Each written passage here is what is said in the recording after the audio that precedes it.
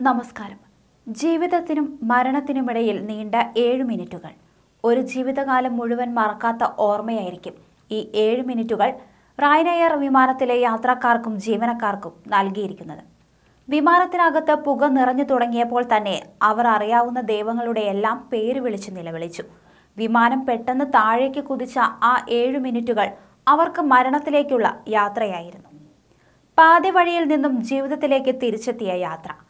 മാഞ്ചസ്റ്ററിൽ നിന്ന് തിങ്കളാഴ്ച വൈകിട്ട് ആറ് മുപ്പത്തി മൂന്നിന് യാത്ര തിരിച്ച റൈനെയറിന്റെ എഫ് ആർ നാല് പൂജ്യം അഞ്ച് രണ്ട് എന്ന വിമാനം തെക്കൻ പോർച്ചുഗലിലെ ഫാറോ എന്ന സ്ഥലത്തുള്ള യാത്രാമധ്യേ ഇംഗ്ലീഷ് ചാനലിന് കുറുകെ പറക്കുമ്പോഴായിരുന്നു വിമാനത്തിന് തീപിടിച്ചത് നാൽപ്പത്തി ഒന്നായിരം അടി ഉയരത്തിൽ പറക്കുകയായിരുന്ന വിമാനം കേവലം ഏഴ് മിനിറ്റ് കൊണ്ടായിരുന്നു പൈലറ്റ് ഏഴായിരം അടി ഉയരത്തിലേക്ക് താഴ്ത്തിക്കൊണ്ടുവന്നത്.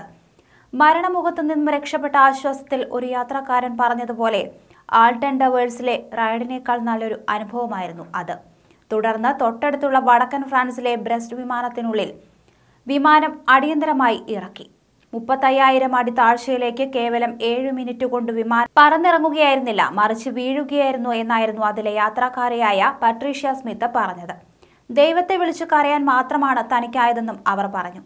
വിമാന ജീവനക്കാർ ഏറ്റവും സമൃദ്ധരായവരായിരുന്നു മനസാന്നിധ്യം കൈവിടാതെ യാത്രക്കാർക്ക് കൃത്യമായ നിർദ്ദേശങ്ങൾ നൽകുകയും തികച്ചും അനുയോജ്യമായ തീരുമാനമെടുക്കുകയും ചെയ്ത പൈലറ്റ് തന്നെയാണ് ആ ദിവസത്തെ വീരനായകനെന്നും അവർ പറഞ്ഞു. പ്രാണഭയത്തിൽ കരയുമ്പോഴും ദൈവത്തോട് പ്രാർത്ഥിക്കുമ്പോഴും യാത്രക്കാർ ആരും തന്നെ അവരുടെ സീറ്റുകളിൽ നിന്ന് എഴുന്നേറ്റില്ല. പെട്ടെന്ന് ഒരു നിമിഷം പ്രാർത്ഥനയും നിലവിളിയും നിന്നു. ഒരുതരം നിസ്സഹായ അവസ്ഥയിൽ നിന്ന് ഉടലെടുക്കുന്ന തിരിച്ചറിവിൽ വിമാനത്തിനകം നിശബ്ദമായി. എന്തും നേരിടാനുള്ള ബ്രിട്ടീഷ് മനസ്ഥിതിയാണ് പിന്നീട് അവിടെ കണ്ടതെന്നും പാട്രീഷ്യ പറയുന്നു. മരണഭയം വേട്ടയാടിയ ഏഴ് മിനിറ്റുകൾക്ക് ഒടുവിൽ വിമാനം സുരക്ഷിതമായി നിലത്തിറങ്ങിയപ്പോൾ അന്തരീക്ഷമാകെ മാറി. പിന്നീട് തമാശകളും പൊട്ടിച്ചിരികളുമായിരുന്നു അവിടെയെങ്ങും. ഫ്രാൻസിലെ നിയമം അനുസരിച്ച് അവിടെ എത്തുന്നവർ രണ്ട് ദിവസത്തെ നിർബന്ധിത ക്വാറന്റൈന് വിധേയരാകണം.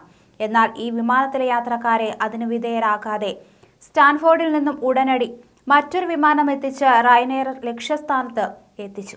വ്യോമയാന ചരിത്രത്തിൽ വരെ ഇത്ര വേഗത്തിൽ ഇത്രയും പോസിറ്റീവായ മറ്റൊരു പ്രതികരണം ഉണ്ടായിട്ടുണ്ടാവില്ല എന്നായിരുന്നു മറ്റൊരു യാത്രക്കാരൻ പ്രതികരിച്ചത്. ചില സാങ്കേതിക പിഴവുകളാണ് അഗ്നിബാധയ്ക്ക് കാരണമായതെന്ന് റൈനെയർ സ്ഥിരീകരിച്ചിട്ടുണ്ട്.